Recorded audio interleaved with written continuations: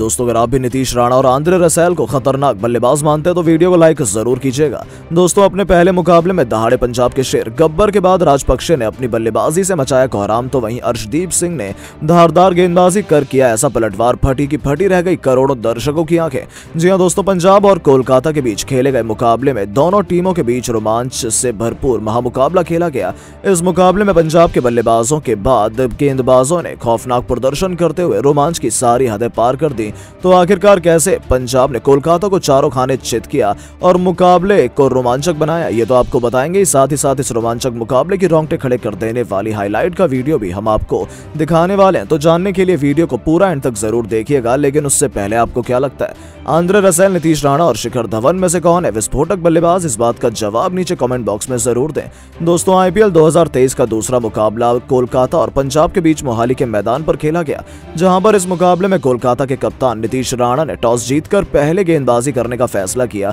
जो गलत साबित हुआ, क्योंकि पहले शिखर धवन की पंजाब किंग्स की टीम ने बेहतरीन बल्लेबाजी करते हुए एक रन बटोर लिए आपको बता दें, दोनों टीम चार चार विदेशी खिलाड़ियों के साथ मैदान पर उतरी। इस बीच गेंदबाजी की शुरुआत कोलकाता की तरफ़ से उमेश यादव ने की तो वहीं पंजाब की तरफ़ से पारी की शुरुआत विस्फोटक बल्लेबाज प्रभु सिमरन सिंह और कप्तान शिखर धवन ने की, जहाँ पर प्रभु सिमरन ने ताबड़तोड़ अंदाज में बल्लेबाजी करते हुए पहले दो ओवर के अंदर दो छक्के और दो चौकों के साथ कोलकाता की टीम को डरा दिया, लेकिन इसी बीच कोलकाता के गेंदबाज सऊदी ने पहला विकेट चटकाकर मुकाबले में वापसी की। जी हाँ दोस्तों, पंजाब की टीम को पहला झटका तेईस रन के स्कोर पर दूसरे ओवर में सऊदी ने दे दिया, जहाँ पर सऊदी ने प्रभु सिमरन सिंह को बारह गेंदों पर दो चौके और दो छक्कों की मदद से तेईस रन बनाने के बाद विकेट कीपर गुरबाज के हाथों कैच आउट करा दिया, जिसके बाद बल्लेबाजी करने के लिए विस्फोटक बल्लेबाज भानु का राजपक्षे मैदान पर आए। ऐसे में उन्होंने बेहतरीन बल्लेबाजी करते हुए शिखर धवन के साथ टीम को संभाला और पावर प्ले में छप्पन रन बटोर लिए तो वहीं दोनों ने विस्फोटक अंदाज में बल्लेबाजी करते हुए छियासी रन की साझेदारी निभाई। इसी बीच ग्यारह ओवर में भानु का राजपक्षे ने तीस गेंदों पर अपना पहला आईपीएल अर्धशतक पूरा कर दिया, लेकिन अर्धशतक लगाने के बाद इसी ओवर में उमेश यादव ने उनको पवेलियन का रास्ता दिखा दिया, जहाँ पर भानु का राजपक्षे बत्तीस गेंदों पर पाँच चौके और दो छक्कों की मदद से पचास रन बनाने के बाद रिंकू सिंह के हाथों कैच आउट हो गए। जिसके बाद बल्लेबाजी करने जितेश शर्मा मैदान पर आए तो वहीं अब लगातार विस्फोटक बल्लेबाजी के साथ साथ विकेट गिरने लगे। यहाँ पर चौदह ओवर में सऊदी ने जितेश शर्मा को ग्यारह गेंदों पर एक चौके और दो छक्कों की मदद से इक्कीस रन बनाने के बाद उमेश यादव के हाथों कैच आउट करा दिया, जिसके बाद बल्लेबाजी करने के लिए सिकंदरा रजा मैदान पर आए। तो वहीं दूसरी तरफ़ से बल्लेबाजी कर रहे कप्तान शिखर धवन ज़्यादा देर तक टीम को नहीं संभाल पाए और पंद्रह ओवर में वरुण चक्रवर्ती की गेंद पर उनतीस गेंदों का सामना करते हुए छह चौकों की मदद से 40 रन बनाने के बाद क्लीन बोल्ड हो गए, जिसके बाद बल्लेबाजी करने के लिए आईपीएल इतिहास की सबसे महँगे खिलाड़ी सैम करन मैदान पर आए, जहाँ पर सैम करन और सिकंदर रजा दोनों ने मिलकर तूफानी अंदाज में बल्लेबाजी करते हुए सभी को हैरान कर दिया। इसी बीच 18 ओवर में सुनील नारायण ने सिकंदरा रजा को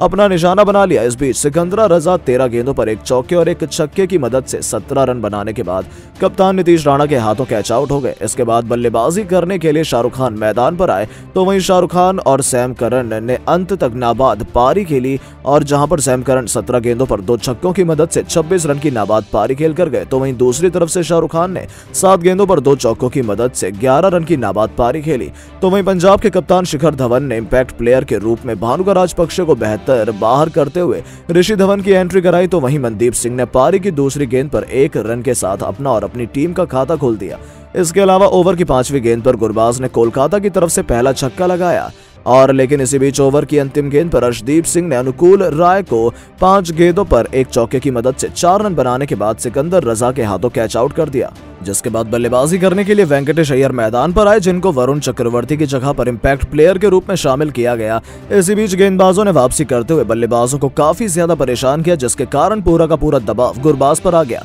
और पाँचवें ओवर में एलिस ने बल्लेबाज गुरबाज को 16 गेंदों पर तीन चौके और एक छक्के की मदद से 22 रन बनाने के बाद क्लीन बोल्ड कर दिया, जिसके बाद बल्लेबाजी करने के लिए कप्तान नीतीश राणा मैदान पर आए। इसी बीच नौवे ओवर में गेंदबाजी करने के लिए कप्तान शिखर धवन ने इम्पैक्ट प्लेयर ऋषि धवन को बुलाया, जहाँ पर उनकी बुरी तरीके से विरोधी टीम के कप्तान नीतीश राणा ने नानी याद दिला दी जहाँ पर नीतीश राणा ने पहली गेंद पर शानदार चौका लगाया तो वहीं अगली गेंद पर विस्फोटक छक्का भी लगा दिया, जिसको देखकर हर कोई हैरान रह गया। तो दूसरी तरफ़ से वेंकटेश अय्यर ने चौका लगाकर ओवर को और भी ज़्यादा खराब बनाया और ओवर के अंदर पंद्रह रन बटोर लिए, लेकिन अब इनकी खतरनाक गेंदबाजी को देखकर हर कोई हैरान रह गया। इसी बीच पारी के दसवें ओवर को कराने के लिए कप्तान शिखर धवन ने विकेट निकालने के लिए सिकंदर राजा को बुलाया, और जहाँ पर उन्होंने छियालीस रन की साझेदारी को तोड़ दिया, इस दौरान उन्होंने कप्तान नीतीश राणा का सबसे बड़ा विकेट ले लिया, जहाँ पर नीतीश राणा 17 गेंदों पर तीन चौके और एक छक्के की मदद से 24 रन बनाने के बाद राहुल चहर के हाथों कैच आउट हो गए, जिसके बाद बल्लेबाजी करने के लिए रिंकू सिंह मैदान पर आए, जहाँ पर उन्होंने पहली ही गेंद पर अपना खाता एक रन के साथ खोला